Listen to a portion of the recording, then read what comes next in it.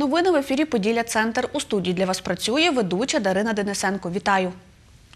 Сьогодні відмінили заняття для учнів Хмельницької спеціалізованої загальноосвітньої школи номер 1 Навчальний процес там відновиться завтра. А уроки, які мали б бути в четвер, діти та вчителі відпрацюють у суботу, повідомила заступниця директора департаменту освіти Хмельницької міської ради Світлана Губай.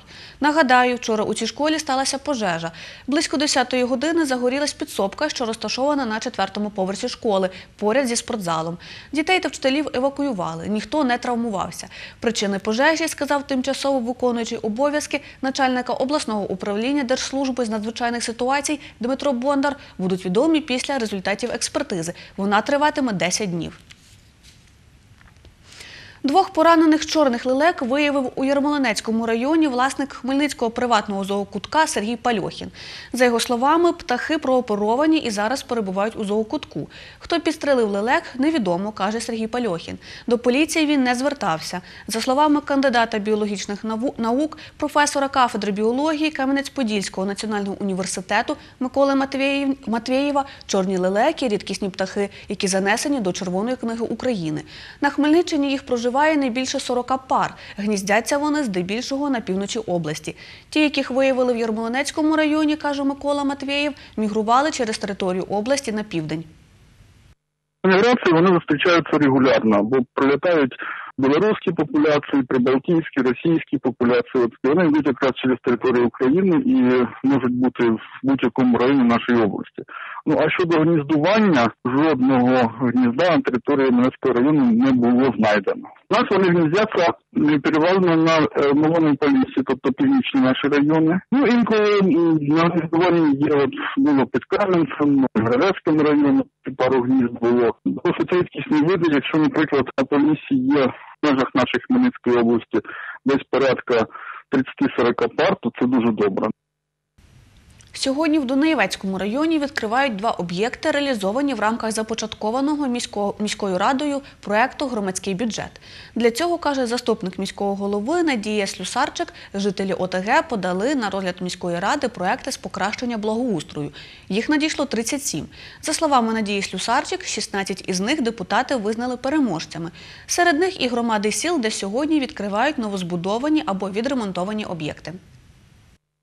Сьогодні ми відкриваємо актовий зал в селі Мала Побіянка в місцевому е, клубі.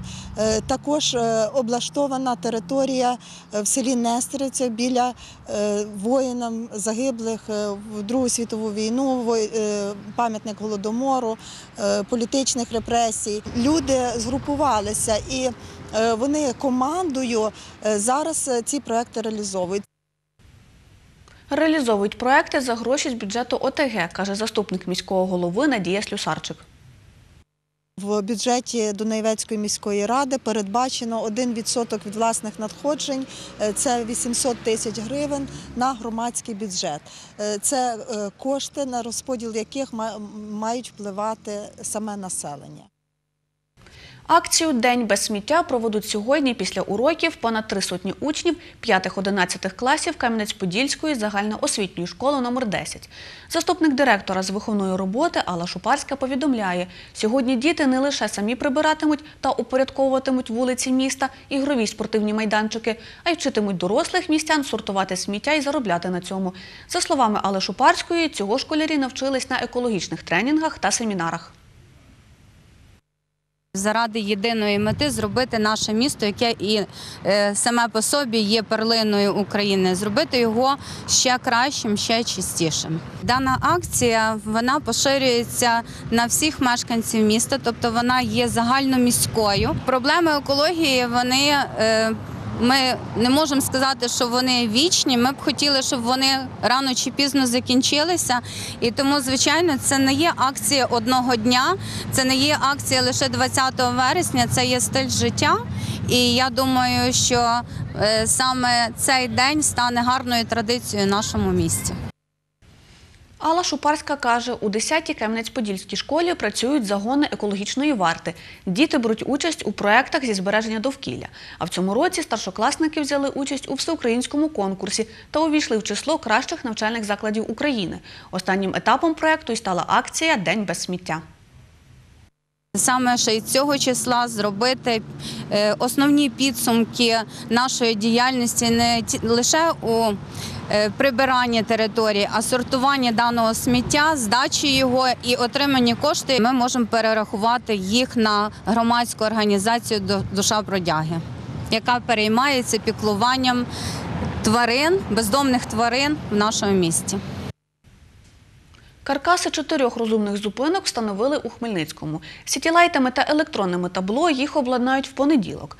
Перед цим хмельницькі комунальники підведуть туди електрику та інтернет. Про це нам повідомив Андрій Умінський, комерційний директор фірми, яка встановлює розумні зупинки у Хмельницькому. Нагадаю, каркаси двох розумних зупинок розташували на вулиці Подільській, поблизу першої поліклініки. По одній розмістили на вулиці Бандери біля молодіжного парку і на проспекті Миру біля Сілістри. Міський бюджет гроші на них не виділяв. Це подарунок обласному центру від Житомирської компанії, яка обслуговує GPS-пристрої в громадському транспорті Хмельницького. Першу персональну виставку Порцелянова експресія представить у Хмельницькому обласному художньому музеї тернопільський художник Євген Овчарик. За його словами, експозиція відбувається в рамках всеукраїнського проєкту Порцеляновий Ренесанс України, автором якого є Валерій Завершинський. У Хмельницькому буде представлено близько ста робіт тернопільського майстра. Відкриття експозиції відбудеться сьогодні о 16-й годині. Тут роботи виконані в техніці фарфор. Це не є е, керамічні роботи, а фарфорові. Складність їх в цьому, що від кераміки фарфорове виробництво відрізняється в тому, що температура на приблизно на 1000 на 250 градусів більше. Тобто температура випалу е, 1250 градусів.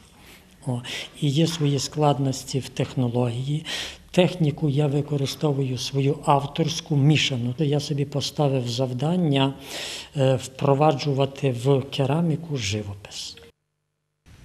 Флешмоб привітання з Днем міста відбудеться у Хмельницькому. Про це повідомив виконуючий обов'язки голови студентської ради Хмельницького національного університету Артур Віннічук. За його словами, учасники флешмобу сформують герб обласного центру. Відбудеться захід 25 вересня на Хмельницькому стадіоні Поділля.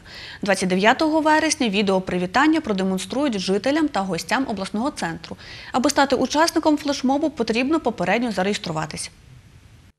Проводимо ми 25 числа, е, потрібно попередньо зареєструватись. І потім організатори, організатори е, обдзвонять всіх бажаючих, хто хоче долучитися до цього флешмобу, е, і повідомлять час, час та місце проведення. Місце проведення, в принципі, вже відомо. Е, Це стадіон Поділля. На стадіоні Поділля хочемо утворити е, якби теперішній бренд міста. Е, Та, скоріш за все, е, цифрами викласти з людей в 587 річчях міста Хмельницькому. На сторінках громадської ради міста Хмельницького МГР так і підписані. Е, Там можна знайти посилання на реєстрацію. 13 років бажано, щоб вже було вікові такі обмеження. Це була остання інформація цього випуску. Наступний дивіться вже о 17 годині. Побачимось!